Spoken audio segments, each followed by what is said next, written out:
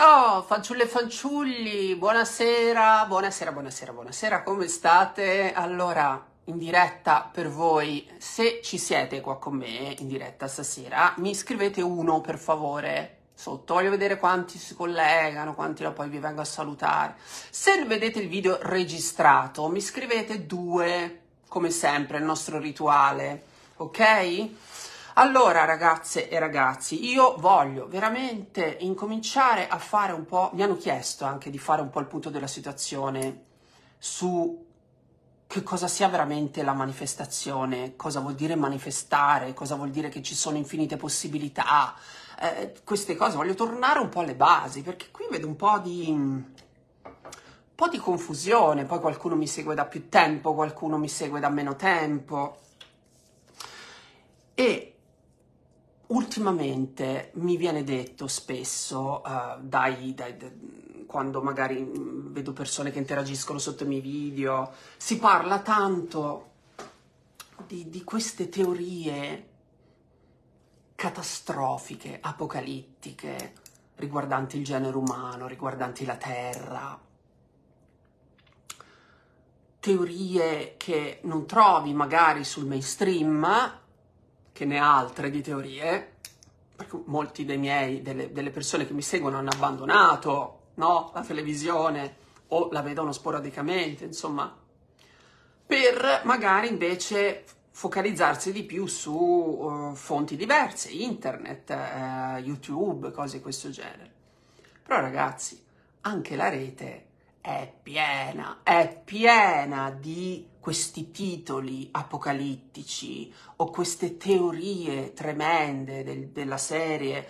Eh, ci sono i pochi che governano tanti, ci sono, c'è questo, che possono anche vere, per carità, ci sono eh, eh, sai, qui oramai vengono gli alieni fra tre anni, è un macello perché vengono quelli cattivi, no? poi c'è quello che dice che no, no, no, no, sono quelli buoni, eh, cioè, cioè, è una masnada, è un calderone di, di, di, di roba, di, cose. Io vedo tanta gente che sta male, che, viene, che viene da me in consulenza, in chiamata, che sta male, eh, perché mi dicono eh, perché hanno aderito a delle credenze, a delle teorie.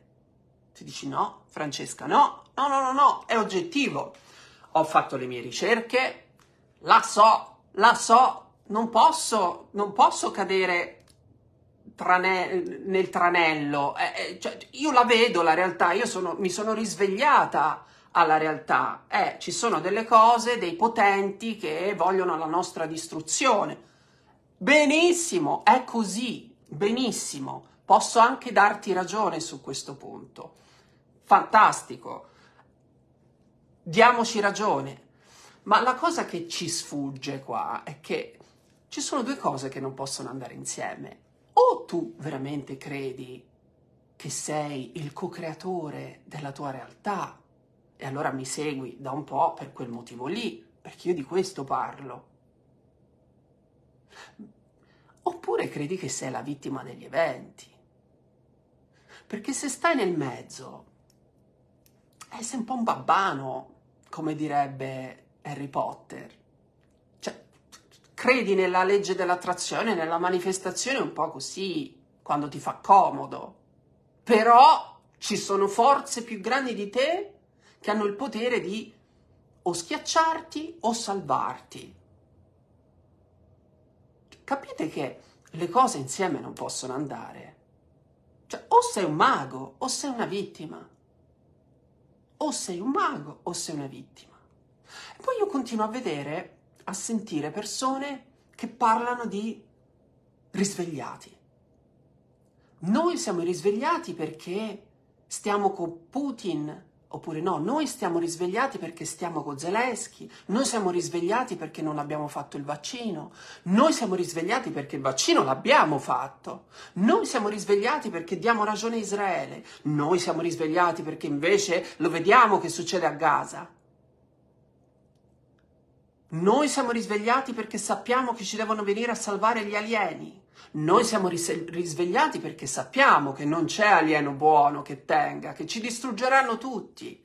Noi siamo risvegliati perché sappiamo quando il mondo finirà. Noi siamo risvegliati perché il nostro Dio ci ha detto che tra poco è il tempo dell'Apocalisse. Ma questo non è il risveglio, ma che risveglio è? Ma questo è aderire a una credenza piuttosto che un'altra. La gente mi accusa spesso di non prendere posizione quando si parla di temi di geopolitica, ma ragazzi, ma io prima di tutto non me ne intendo. Io sono una banalissima persona di 46 anni che si occupa di spiritualità.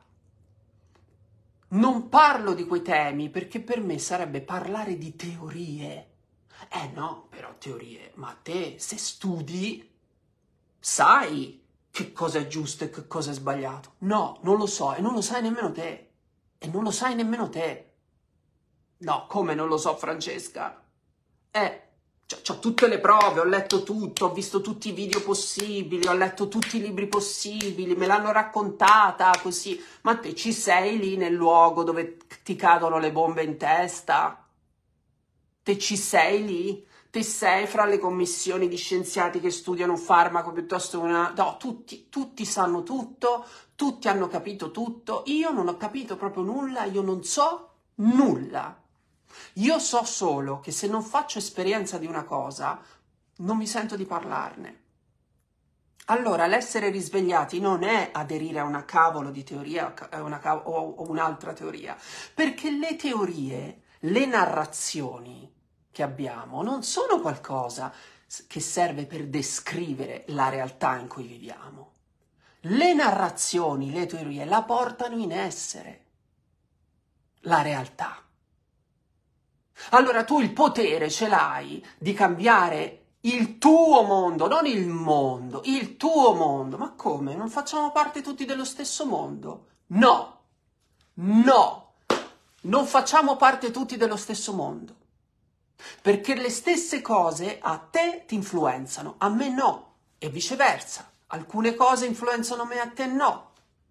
Se tu decidi di credere che l'esito, che il destino dell'umanità sarà di essere schiacciata da un manipolo di criminali che sta eh, sotto le mentite spoglie in un governo ombra fatto di illuminati e che siamo condannati a quella fine, e questo è il tuo mondo. E c'hai ragione, ma c'hai assolutamente ragione.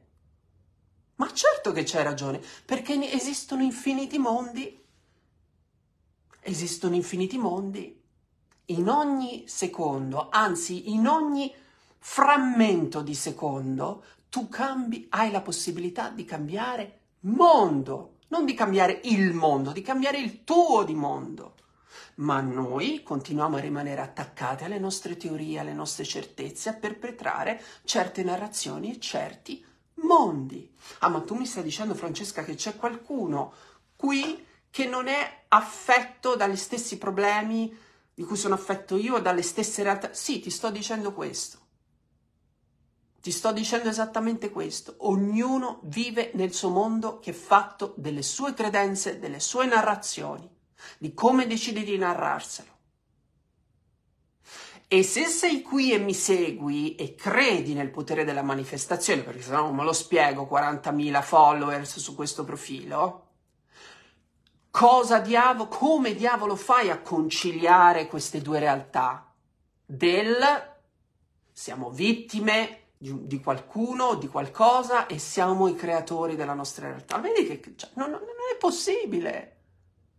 Ma purtroppo questa contraddizione io la vedo ovunque sui social, YouTube, anche questi personaggi, alcuni famosi, alcuni che vengono da, da storie di rock, addirittura ora fanno, fanno i, i, motivatori spirituali, fanno gli, quelli che hanno capito dove sta la verità, che conoscono come funziona la, la legge, come funzionano le leggi universali, conoscono il fatto che siamo dei maghi, dei creatori della realtà, eppure cadono vittime di queste teorie, dell'ineluttabilità di questo destino terribile. Dice, ma allora scusa, ci fai o ci sei? Ci fai o ci sei? Forse ci fai, forse ci fai e ti dico io perché. Perché così come i TG hanno bisogno di notizie drammatiche, tragiche per catturare la tua attenzione e quindi richiamare sponsor che paghino pubblicità, spazi pubblicitari all'interno dei loro TG, perché questo è il meccanismo umano, noi siamo attratti quando c'è paura, quando c'è qualcosa di tremendo, noi subito hanno la nostra attenzione e lo sponsor paga. Sono soldi, eh ragazzi. Allo stesso modo su internet questi titoli tremendi. Cosa non ti dice il mainstream? Cosa invece ti dico io che succederà da qua a tre anni all'umanità? Cosa sta facendo il governo ombra che tu non sai? Cosa non ti... Anche questo, ragazzi, attira la vostra attenzione, eh? E le visualizzazioni salgono. E le piattaforme pagano. Ah, non lo sapevi? È così, eh? I titoli clickbait fatti per farti cliccare, perché così sale la, la visualizzazione. E così cosa fanno? Le pubblicità pagano lo youtuber di turno che poi magari c'ha il suo libro da vendere, legittimo, ma è una tecnica di marketing, ragazzi, svegliamoci, ecco questo, qui c'è da svegliarsi. Allora però cosa vuol dire svegliarsi veramente? Non è aderire a una, a una teoria piuttosto che un'altra, rimanendo vittime, perché sei sempre vittima così, c'è sempre qualcosa fuori che decide per te, il copione che devi vivere. Svegliarsi vuol dire riconoscere che la realtà, quella cosiddetta realtà che tu pensi solida, granitica, oggettiva, materiale, in realtà è tutto fuorché oggettiva, materiale. La realtà è un sogno. È come sognare. Il sogno non è né oggettivo né materiale, è reale, è un sogno però. E oltretutto presci- le immagini del sogno non prescindono dal sognatore. Se quando sei a dormire ti sogni un assassino che viene lì col coltello a ammazzarti, non è che quell'assassino esiste di per sé a prescindere da te. Quella è una proiezione. Allora qualcuno, qua fra i più babbanini, dei miei amici di vecchia data che mh, mm, sono su tutt'altri mondi, diranno, no Francesca, un conto è sognarselo l'assassino, un conto quando ti viene lì col coltello e ti penetra la carne. Certo, è certo, perché tu la carne la vedi come materia, tu la carne la vedi come una roba solida. Se questa benedetta carne o questo benedetto tavolino di marmo tu li ingrandisci, tu non vedi altro che tanti piccolissimi puntini di luce distanti chilometri l'uno dall'altro, c'è più spazio vuoto nella materia rispetto alla materia stessa. E anche quella materia lì, quella roba lì che noi percepiamo come materia, in realtà è energia. E oltretutto è energia pulsante, cioè ora c'è, ora non c'è, ora c'è, ora non c'è, ora è visibile, ora è invisibile. E dove va? E oltretutto questo magma energetico di, mater- di energia pulsante risponde alle intenzioni di chi lo osserva. Non ci credi?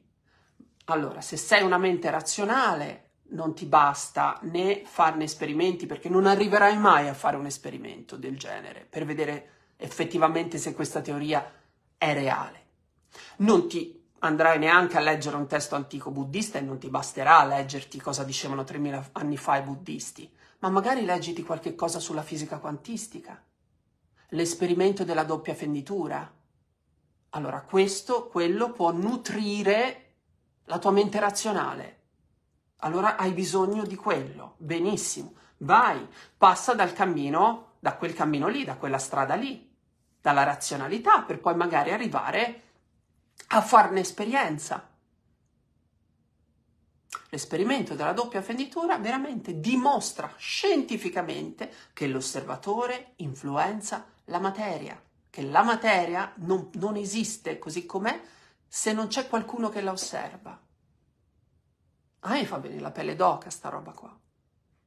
Nonostante sia una roba che poi ho messo in pratica, perché tu di esperimenti di manifestazione dove veramente dici no, crei miracoli, manipoli la realtà, li puoi fare, ne avrei fatti, se mi segui ne avrei fatti a, a, a montagne, nella mia vita ne ho fatti a bizzeffe, roba che se appunto vai dai babbani ti fa, vogliono fare il TSO, ma lasciamoli fare, lasciamoli rimanere lì nelle vittime, nel loro stato da vittima.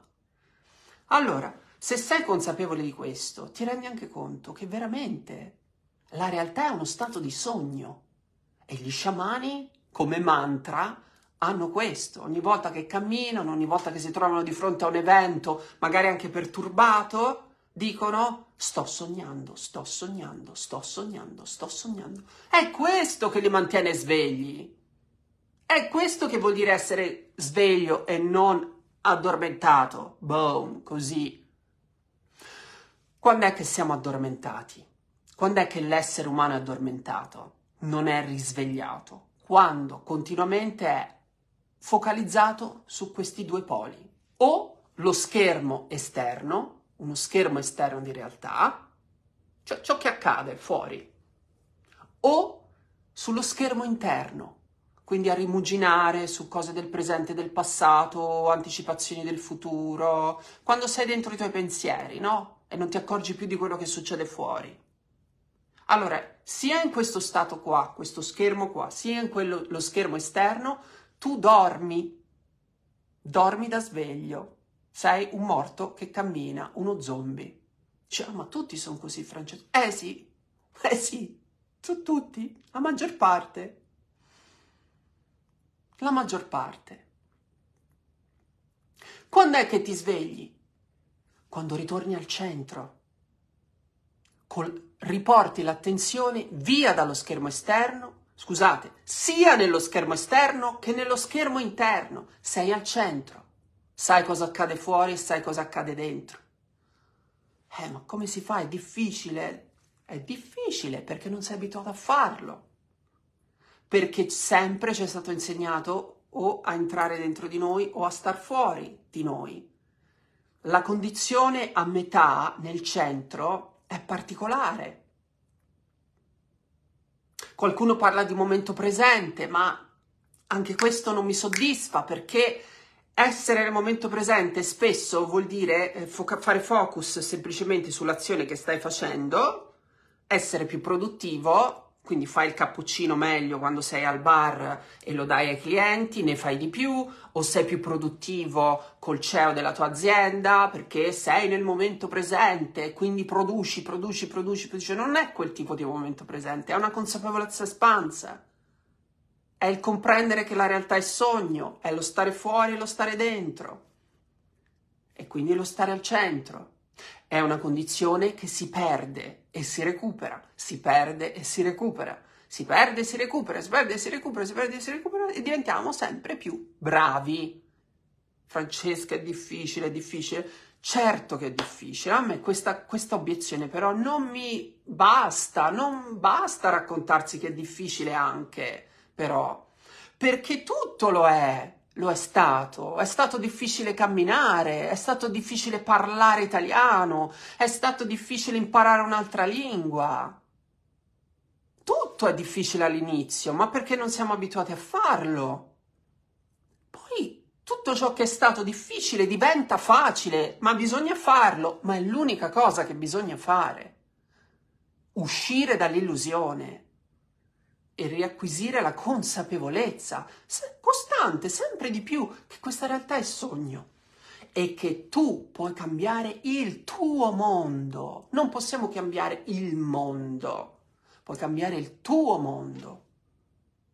Allora esistono infiniti mondi. Non è vero che facciamo tutti parte dello stesso mondo, come ci sembra. Ci sono infiniti piani paralleli di realtà e noi shiftiamo da un piano all'altro costantemente, ogni nanosecondo. Ogni nanosecondo, con i nostri pensieri e le nostre emozioni, noi ci spostiamo da un livello di energia, da un livello di energia all'altro, da un mondo all'altro. Allora è possibile che nel mio mondo io non venga sopraffatta dalle stesse cose che hanno un effetto su di te, che ti schiacciano a te e viceversa. Eppure ci sembra di far parte tutti dello stesso mondo. Eh no, è un'illusione, è l'illusione di Maya. Tu in ogni secondo puoi cambiare realtà. Se mantieni l'attenzione, se mantieni il focus, come ti ho detto tra questi due schermi, lo schermo interno e lo schermo esterno, e ritorni al centro, più lo fai, più la smetti di vivere di default, di manifestare che cosa? Un copione scritto da qualcuno per te. Da chi? Dal tuo passato magari, dai traumi del passato o come si direbbe in sciamanesimo dagli eventi perturbati del passato. E allora incominci a vivere il tuo copione, le tue narrazioni consapevolmente. Sapersi spostare senza perdersi è il mio obiettivo. Ah, questo è ottimo perché poi anche lì eh, ci sono questa un, potrebbe essere um, argomento di un video, voglio approfondirla questa cosa. Assolutamente. Grazie Anna. Sì, voglio proprio approfondirla. Perché poi anche lì si oscilla, no? Si oscilla costantemente fra due poli. Eh, quindi bisogna sapere quando dar voce, come, come accogliere un certo stato d'animo, un polo e come accogliere poi, come ritornare poi sulla manifestazione consapevole. Grazie Veronica. È, è, questo è complesso, chiaramente, bisogna che ci ritorni, però capite bene che veramente dobbiamo, dobbiamo piantarla, piantarla di pensare che siamo le vittime designate, che c'è qualcuno, perché sì che ci sono esseri malevoli, malvagi che vogliono fare del male all'umanità, io non sto negando questo. Ma come ce li abbiamo messi? Ce li abbiamo messi noi, ce li possiamo levare. Come?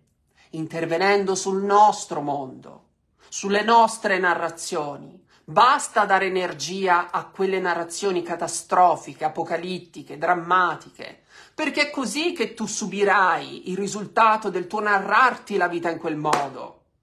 Non c'è niente di oggettivo fuori, là fuori, non c'è nulla. Allora le cose sono due. O ci credi o non ci credi, non è che puoi stare nel mezzo, ma sì, manifesto la realtà desiderata, tutti papà e poi uh, il, il, il, ci sono quelli cattivi che ci schiacceranno tu, cioè, cioè, quello non è vero, vera consapevolezza, quello è stare coi piedi in due staffe, no, o sei di qui o sei di là, o decidi che quello che dico è tutta una cavolata e ci sta, ti prego, sei liberissimo di crederlo, allora però, cavoli, sii coerente con te stesso, se sei vittima lo sai fino in fondo. Eh, allora sì, basta. Non sono il creatore della mia realtà, non creo proprio nulla. Benissimo. Vittima. Fam.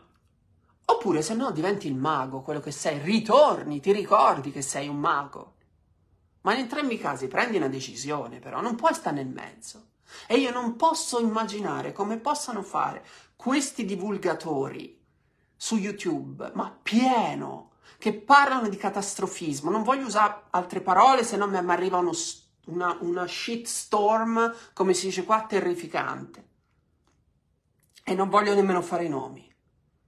Che parlano di cambiamento, di co-creazione della realtà e poi si fregano, si perdono un, bicchiere d'acqua e, e, e, danno retta a, a queste narrazioni terribili.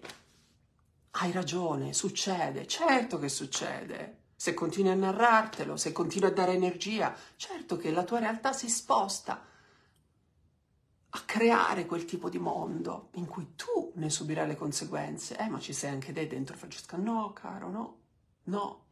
Eh, se avremo occasione te ne parlerò fuori da questo contesto, fuori da questo contesto, perché sono cose molto personali. Però quando tu decidi di non aderire a certe narrazioni, fai miracoli. Non c'è nessuno che può toglierti il lavoro, non c'è nessuno che può impedirti di fare un viaggio, non c'è nessuno che può impedirti di compiere una scelta. Sei tu che decidi. Come? L'universo le vie del, del, Signore sono infinite, come direbbe qualcuno, non spetta a me sapere come, ma succede, succede costantemente. Allora, cosa vuoi fare? Vuoi rimanere uno sfigato e dare retta alle teorie e, e, e tirarti delle gran zappate sui piedi? O vuoi diventare il mago e buttarla in tasca al tutto e fare il diavolo che ti pare? Eh? Allora, questo secondo me è essere risvegliati, essere consapevoli. Punto. Tutto il resto non è che sei risvegliato perché aderisci a una teoria o un'altra, come ho detto all'inizio. Quelle sono teorie, rimangono teorie. Oh, sono contenta, Gabriele, veramente, veramente.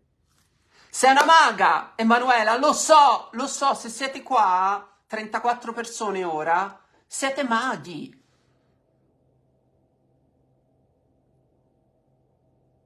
Eh, sì. Poi vi leggo, eh, poi vi vengo a leggere. Ora chiudo perché devo andare ehm, a cenare. Siamo qua, siamo in un'ora prima di voi a Londra. Siamo, sono le 8.14, ho una cena giù con persone che mi aspettano. Bene, bene ragazze e ragazzi, scrivetemi tutte le cose che, che vi vengono in mente, poi vi vengo a leggere e ci vediamo alla prossima. Ciao, forza, eh? Maghi, tutti maghi. Questo siamo. Dai, eh. ciao, grazie, grazie Mimi.